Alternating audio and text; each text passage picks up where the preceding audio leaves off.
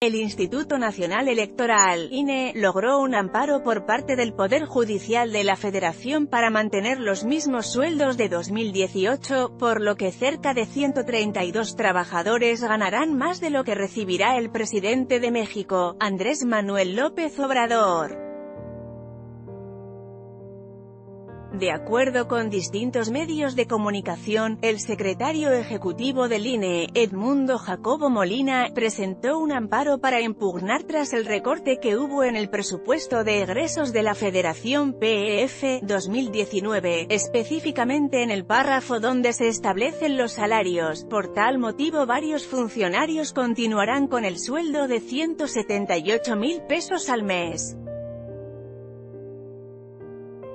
No obstante, se espera que, según lo acordado, los funcionarios reduzcan en un 25% su salario, por lo que este quedaría en una cifra cercana a los 148 mil pesos al mes cantidad que sigue siendo mayor a la que percibirá López Obrador. Se espera que la reducción se haga extensiva para los directores ejecutivos de área, los cuales percibían un salario de 162 mil pesos al mes. En tanto, el INE señaló que mantendrá el salario del resto de su personal.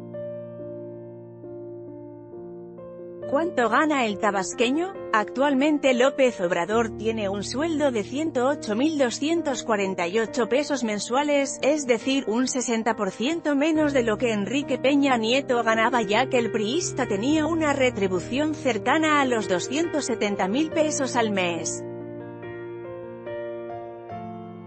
López Obrador se convirtió en el mandatario con el tercer sueldo más bajo de la región de América, pues su paga supera únicamente a la del peruano Martín Vizcarra, quien gana 4.569 dólares y el boliviano Evo Morales con 3.441 dólares. Foto, Isaac SQIVLCUARTOSCURO con información de Politicoms, Milenio y Telediario Anímate a comentar. Queremos saber tu opinión. Comentarios Powered by Facebook Comments.